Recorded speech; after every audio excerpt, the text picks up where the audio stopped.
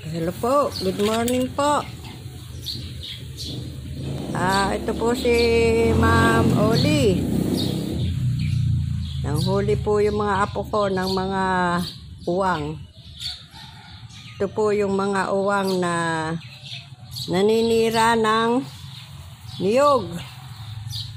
Yung pong mga niyog na namumunga. Pinakain po nila yung ubod. Kaya po, salot po itong mga uwang na ito.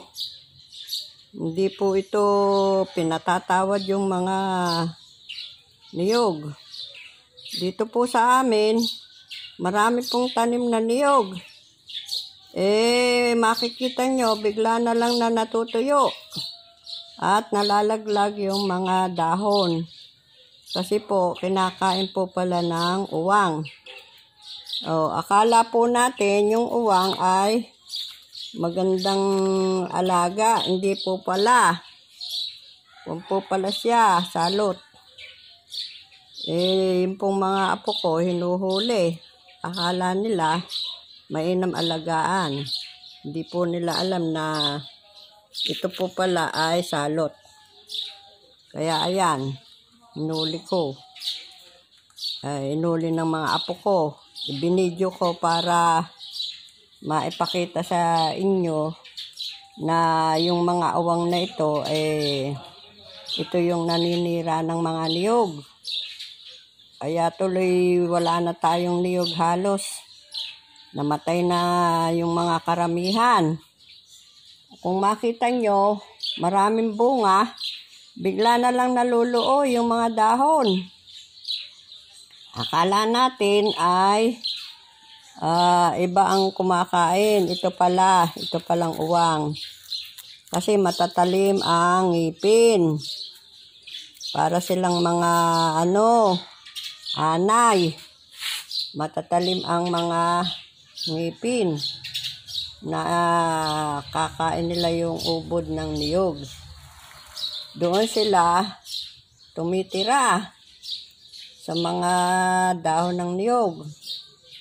Kaya ang nangyayari, akala natin, eh, ito yung mga salagubang na lumilipad. Hindi po pala. Iba po pala yung salagubang. Kasi yung salagubang kinakain. Eh ito, hindi, matigas po ito. Hindi po ito, ano, pwedeng kainin.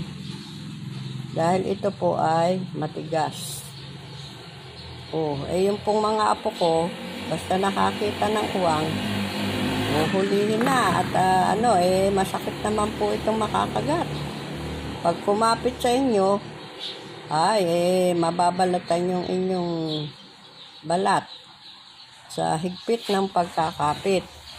Kaya po ang ginagawa, eh, ayan,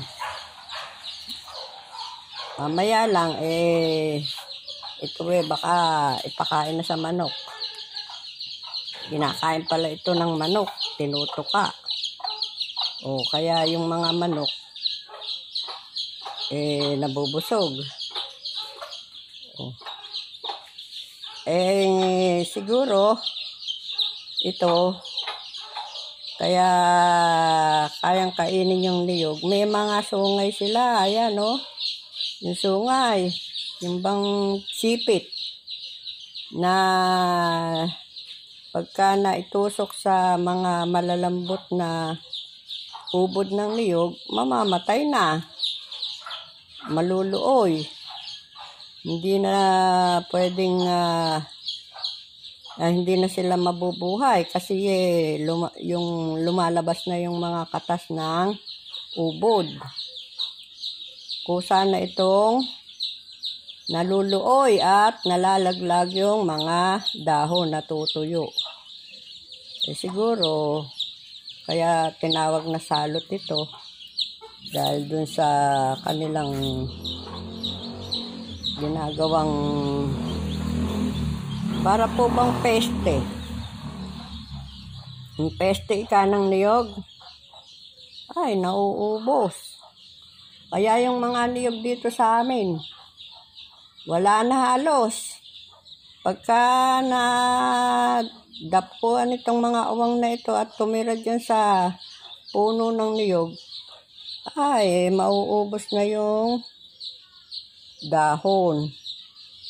Oh, kaya pinakikita ko po sa inyo kung ano ang itsura ng uwang. Ayan, may mga sipit, matigas, at ito ay mapaminsala. Hindi dapat itong ah, alagaan o hindi rin ito pwedeng kainin kasi matigas.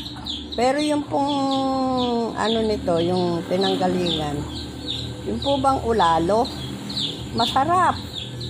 Nakatikim na po kami yung ulalo. Kasi yung ulalo, yung pala ang kanilang baby. O pagka tumigas yun, iyan, nagiging ganyan.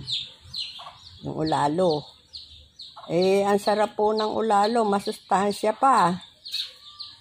Kaya ako nalaman kasi meron kaming ibinabang niyog. Ay, yung puno ng niyog na nakababa sa lupa. Ay, makita-kita po namin, eh, puro ulalo. Malalaki. Nagbaon doon sa ubod ng niyog. Doon pala sila tumitira. Oh, ngayon po, ay iniluto namin kasi masarap. Bahagya lang pong ah, luto kasi pagka ah, niluto yung sobrang luto eh naaalis na yung ano yung parang gatas. Oh. Eh hanggang dito na lang po. At ah, hahanap pa po kami ng maraming uwang kasi po inuubos yung aming niyog. Oh, babay na.